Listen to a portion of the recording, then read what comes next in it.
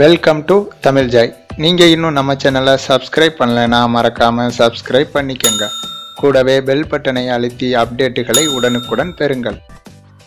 இந்தியாவுக்கும் இங்கிலாந்துக்கும் இடையேயான வருகிற சனிக்கிழமை தொடங்கவுள்ள மூன்றாவது டெஸ்ட் போட்டியில் இந்திய கேப்டன் விராட் கோலி விளையாட மாட்டார் என்பது உறுதியாகியுள்ளது.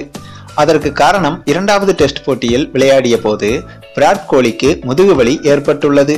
ஏற்கனவே சில மாதங்களுக்கு முன்பு முதுகு வலியால் அவதிப்பட்டு பிறகு அதற்கான சிகிச்சை பெற்றுக்கொண்ட விராட் கோலிக்கு மீண்டும் முதுகுவலி வந்துள்ளது.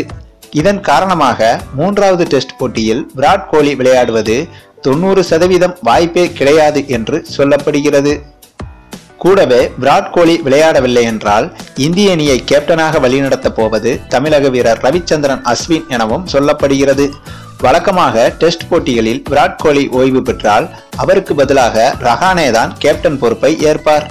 ஆனால் இந்த தொடரில் ரஹானே சொதப்பி வருவதால் அவருக்கு பதிலாக இந்த தொடரில் ஓரளவுக்கு சிறப்பாக விளையாடி வரும் அஸ்வின் தான் கேப்டன் பொறுப்பிற்கு பொருத்தமாக இருப்பார் என்று பிசிசிஐ தரப்பிலிருந்து தகவல்கள் வந்துள்ளது. அது மட்டும் இல்லாமல் வலைப்பயிற்சியின் போது ஒரு பந்தை கூட தினேஷ் கார்த்தியால் அடிக்க முடியவில்லை.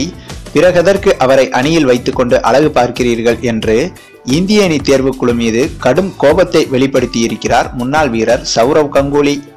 அதனை கருத்தில் கொண்டு மூன்றாவது டெஸ்ட் போட்டியில் தினேஷ் கார்த்திக்கு பதிலாக ரிஷப் பண்ட் சேர்க்கப்படுவார் என்றும் நம்பலாம். ஆக மொத்தம் விராட் கோலி விலகல் அஸ்வின் கேப்டன் தினேஷ் கார்த்திக்கு பதிலாக ரிஷப் பண்ட் வருகை என பல அதிரடி மாற்றங்களுடன் மூன்றாவது போட்டியில் களமிறங்க உள்ள இந்திய அணியை பற்றி உங்களுடைய கருத்துக்களையும் கமான்ல தெரிவிங்க. இந்த வீடியோ உங்களுக்கு பிடித்திருந்தால் லைக் பண்ணுங்க உங்க ஃப்ரெண்ட்ஸ்களுக்கு ஷேர் பண்ணுங்க. தேங்க்ஸ் ஃபார் வாட்சிங்